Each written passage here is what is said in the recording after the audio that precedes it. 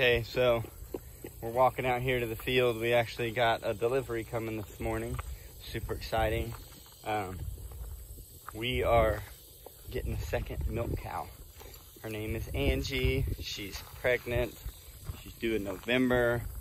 Um, it's just going to be an awesome addition to our homestead and our ability to have milk and uh, provide for our needs and then some of those that are close to us uh, that get to also share in in that. So we're gonna walk out here and meet her. I'm still drinking my coffee, so. Come on, Katie, you want me to carry you? Okay, so we're gonna go say hi to Angie. Hi, Angie. Let me turn this thing around so you guys see her. There she is. Hi, Angie. What's up, mama? Hi.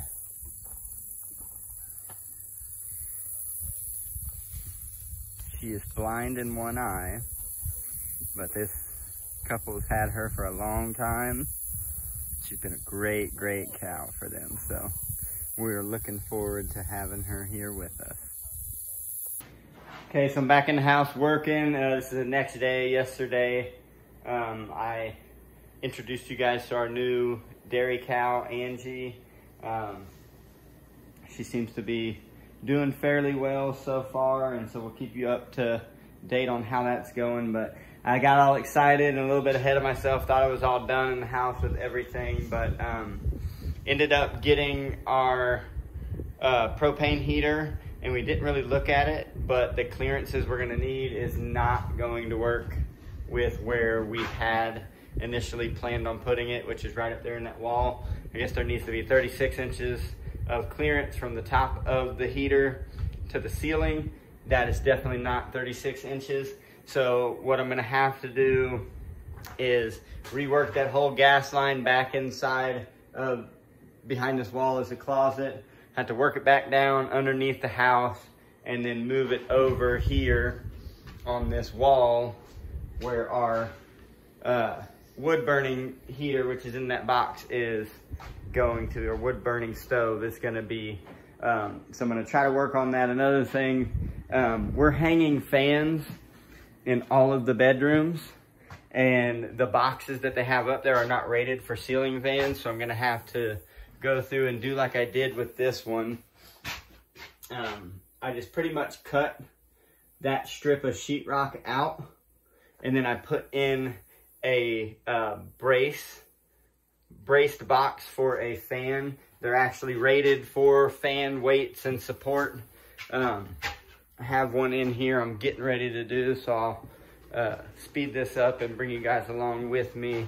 Um, it was kind of discouraging, to be honest, uh, to feel like I was further ahead than I was, and then reality check, oh no, now I gotta uh, rework some of this stuff. So I'm just picking up the pieces of the day and this is what I'm gonna be putting up.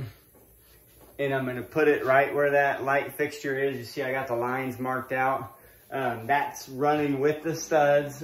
Um, and so I'm gonna cut, I guess not running with the studs, it's running from stud to stud. I'm gonna cut that open.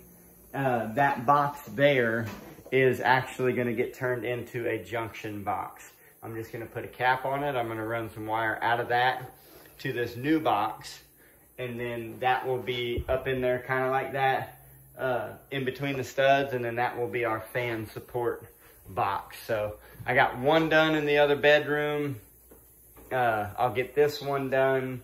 And then I will have one more uh, bedroom to do. And then the ceiling fan that's in the living room, I mean, I might just see, like I'll keep one of those boxes and some sheetrock, depending on how far along we get with finishing the house.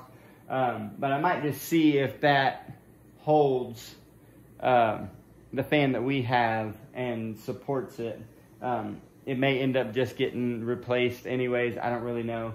But uh, for today, that's what I'm going to be trying to work on. Um, and we'll see what I can get done. So we'll catch up with you guys when I get to a stopping point.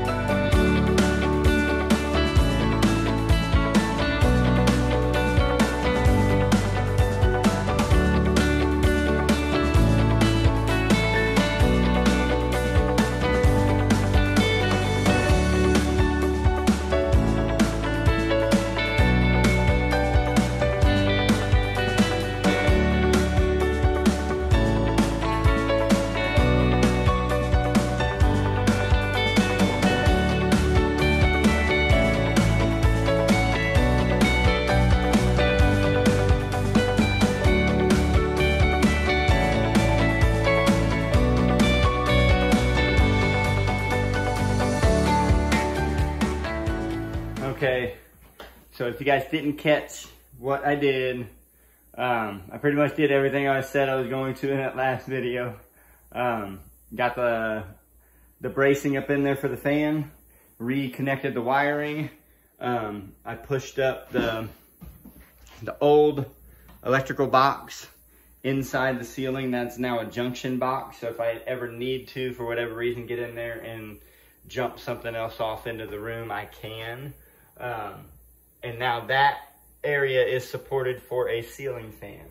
So um, right now I got one more room to do, but I don't think I'm gonna do that today because it's our, um, one of the kids' rooms slash right now tool storage. I mean, every room could be considered storage right now, but we got this piece of plywood with all the tools that we've been using over the last eight months or so to remodel this house. So that'll be the last one that I actually do. Um, I've done the same thing in this hallway. We're gonna have a small light fixture that has like a little fan in there. I did this bedroom today. Um, and I'm gonna see about this fan in here. I mean, this one, it's got a little bit of a wobble if you watch it, but it's not too bad. Um, I may just end up going ahead and doing that one too. But what I'm gonna try to do today, and I'll try to bring you guys along with me, um, cause this part's gonna suck. Honestly, from the beginning of this house, um, one of the things that I've disliked the most about it is having to get underneath the house in the crawl space.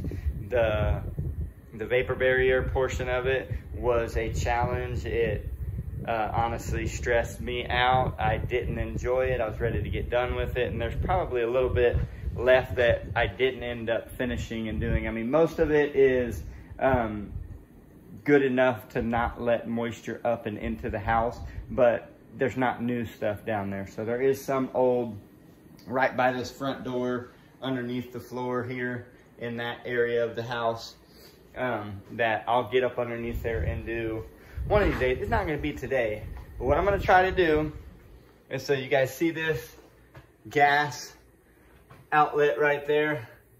Well, that runs up into that attic space down into this closet.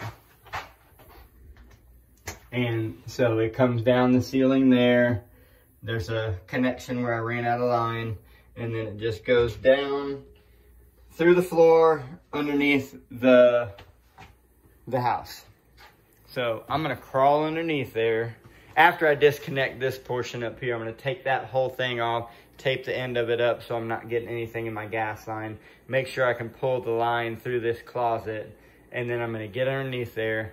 I'm gonna pull it down. And then I'm gonna try to find a spot somewhere in this floor where all my coffee bean buckets are to push it back up. And then I will um, seat that gas valve there or that connection, that floor connection over here where it's going to end up going. And then honestly, like with our sheetrock situation, that's one of the last places we need the sheetrock that has a wall up. We're gonna build a couple of different walls. I think Delena's gonna end up helping out on some of that. But uh, there's gonna be a small closet here beside the washer and dryer. So we need a wall to come up like right there. And then uh, we'll sheetrock that. And then back in this bedroom that I did the first light or the fan support in today. Um, there's some water access that we're gonna have to box out so that's for the tub, for the kids or the main bathroom. And we just really got to come out probably about six inches from that stuff, build a wall, and then sheetrock it off. So um, I think I'm going to do the stuff that I don't really want to do. Like honestly, when I found out that this gas line wasn't going to work uh, today, I was, I was ready to not work. I, I was just like, oh, really? I just got done with that. And it's been kind of a circus getting the parts because sometimes you go to these uh, part store, like I went to Home Depot, got the part that I needed, and it was missing a brass seating ring on that gas valve. And so I had to wait, go back, get that part, and then turn it, or then uh, put it on. And then once I put it on, I realized, nope, that's not gonna work because we gotta move where that gas line's gonna be. So I'm gonna try to get all that stuff taken apart without damaging it. Hopefully I won't have to go back and purchase any more stuff because um, I don't really want to. But uh, I'm gonna try to get this portion done and I'll have you guys crawl with me down there if I can and uh, see what I can actually film that'll actually come out. So it'll be fun. At least be fun for you guys watching. It won't be fun for me. I won't be enjoying myself at all, but I'll bring you guys along anyways.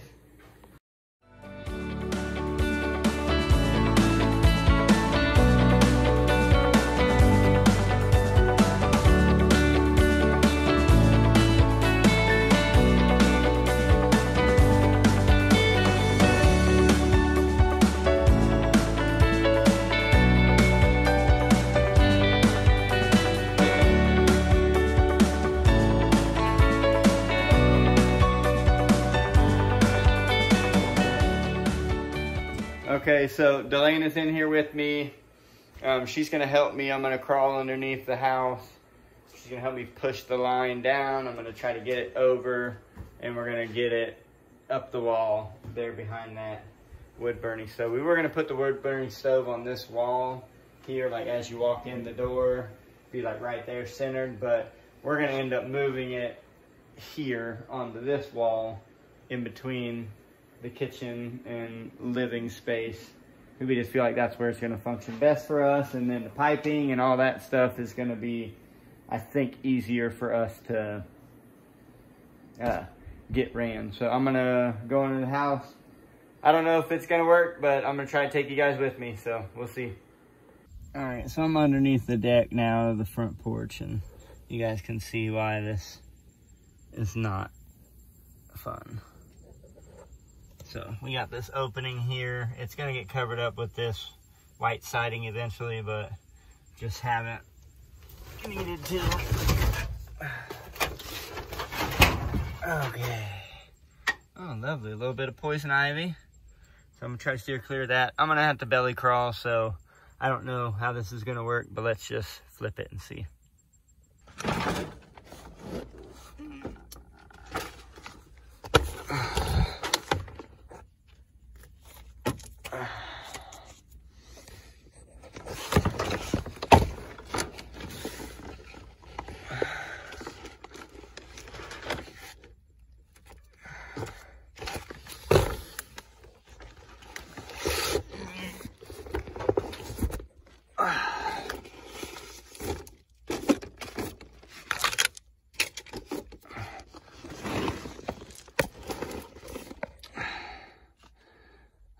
Trying to get some lights on.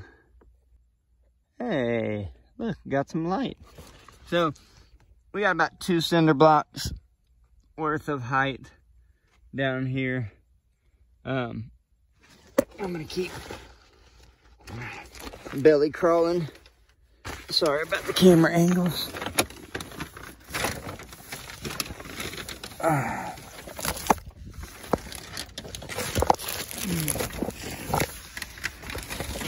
Ah. It's always nice to have cobwebs all over your head. Okay. So I found the line that we pushed through. It goes to the black pipe way over there, but I'm gonna have Delana push it down to me, so just hang tight.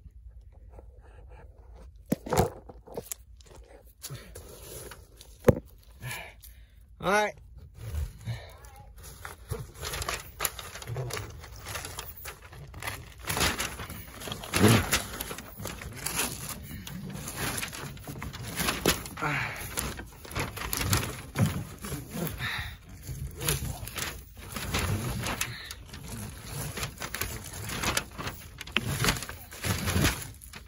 Okay, so we got that done. Now what I'm gonna do is I brought down this this tape that goes with the correct uh, vapor barrier that we ended up buying. This is actually some of the Tyvek, but it's gonna work. I'm just gonna tape this up real quick. This tape actually works uh, very, very well.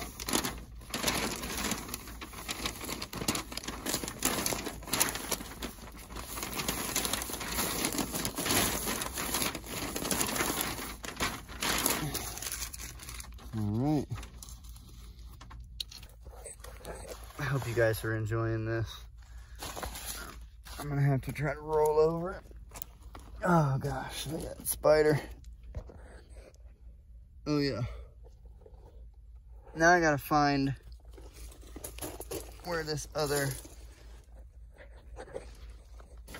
hole is gonna come out. So, I had to have Delana push the wire for me. So, see if I can get you guys. There it is there. Just cut it.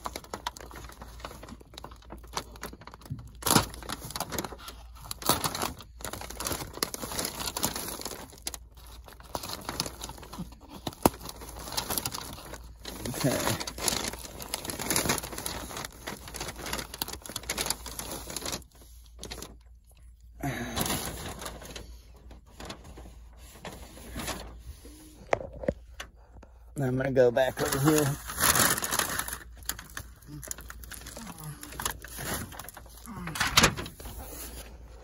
And grab this gas line.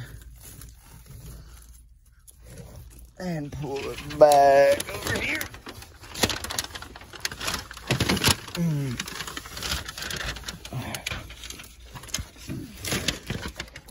And I'm gonna try to fish it up to her, so we're gonna see how this works. Hope you guys can see this. And I hope it works. More, I hope that you guys can see it, because even if it doesn't work,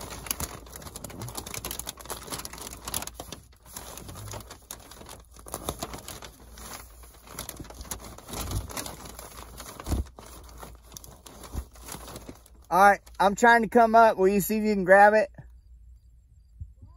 Pull that copper out. Yeah.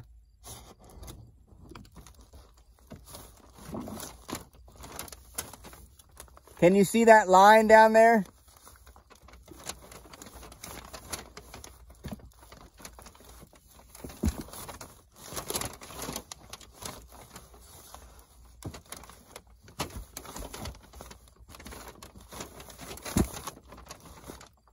Can you see it?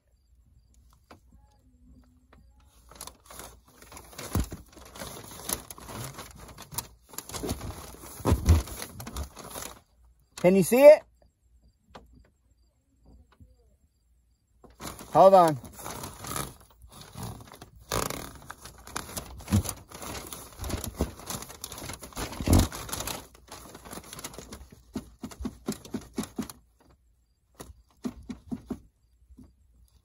Hey, Delana.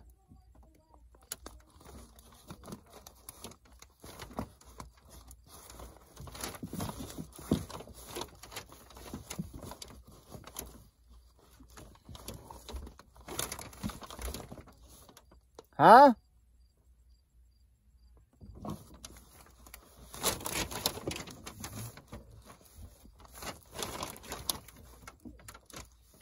What?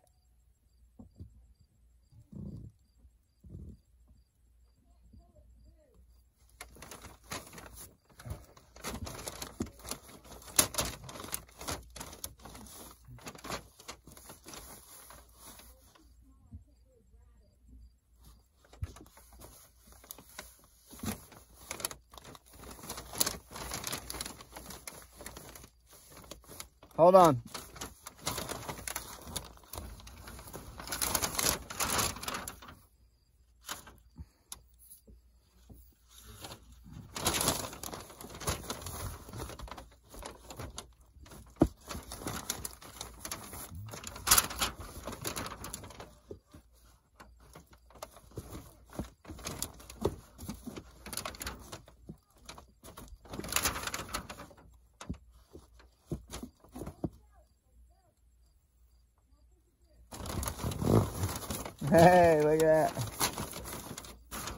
Can you pull any more?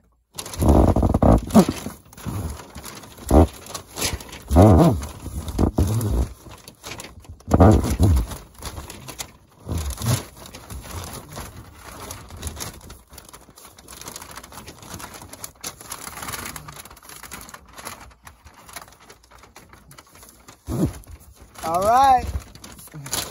We did it, people.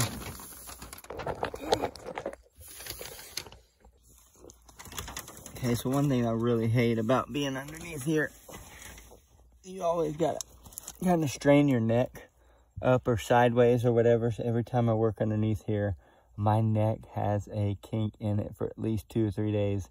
It just feels like I did like some kind of neck exercise or something. It's, it's pretty crazy, but we got it done. Uh, without Delana, I would not have been able to fish that line up. So teamwork makes the dream work. Okay, well, I am done with the gas line. It is ran, and I have a shut-off valve right there. So that's pretty much where it's gonna go. We're gonna have the propane heater on this wall. We've changed uh, where we're gonna put the wood burning stove, and it's gonna go right back here on this wall behind me. Once all that sheetrock's gone, we're gonna build the little platform and put the wood uh, burning stove, which I kind of unpacked a little bit there. Um, it's gonna be nice. But um, yeah, it's been an adventure. Been underneath the house, been working in the house. Uh, I appreciate you guys for sticking with me. And I hope you guys gained something, even if it was just a chuckle about me being underneath the camper, or not the camper, but the house. I, I really do enjoy it, but at the same time, somebody's got to do it. And the best part about it for me is when I'm done with it. So until next time, this is Kenny with the Healing Homestead. If you guys haven't subscribed yet, please subscribe. We're building our home, building our farm. There's going to be plenty of excitement left to come. So until next time, keep overcoming, do some hard stuff, and enjoy the rewards of it. We'll catch you guys on the next one.